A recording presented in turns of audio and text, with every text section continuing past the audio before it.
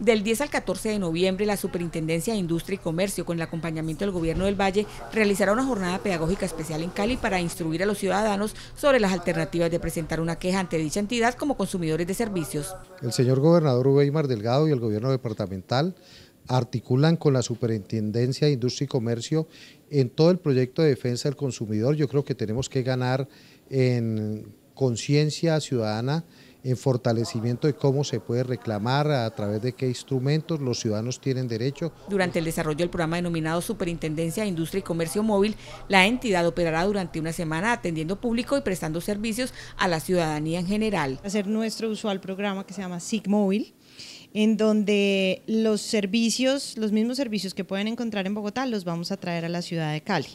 Eh, vamos a reunirnos con el gobernador, con el alcalde, eh, con las empresas emblemáticas de la región y nos interesa que todas aquellas personas que tengan algún problema como consumidores puedan utilizar nuestra unidad móvil. Este es un programa bandera que busca facilitar los trámites a la ciudadanía.